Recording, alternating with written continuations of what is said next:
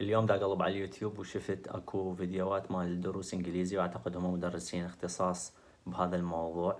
خلينا نشوف. Welcome students. Today's lesson is مقدمة المدرسة طبعا غلط. هي تقول listen وهي دا تقصد lesson.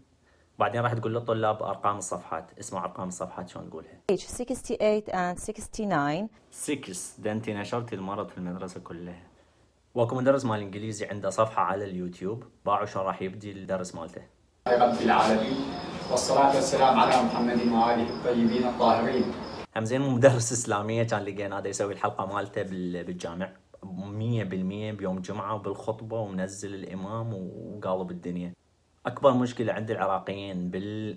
باللغة الإنجليزية هي لفظ كلمة ابل هي apple مو apple بينما بعد الأداة an كلمة تبدأ بحرف علة مثل an apple ورا ما تعلمت من هذا المدرس ذكرني بفيديو ما معنى كلمة apple. وشوفوا هذا العبقري إيش راح يسوي باللغة الإنجليزية واللغة العربية. وأكو فد كلمة راح يقولها ما حد يعرف هي شنو أصلها. لا هي فرنسي لا هي إسباني لا هي ما أعرف هي أصلا مو مو كلمة. يعني يعتبر هي شيء يعني من الغربية.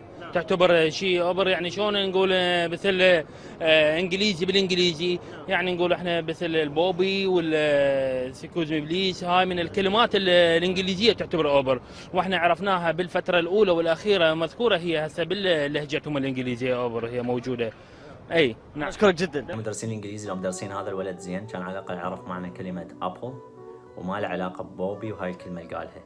فلهذا الطالب العراقي عنده هم يجيب الخمسين. ويخلص من الدرس الإنجليزي حتى بعد ما يشوفه.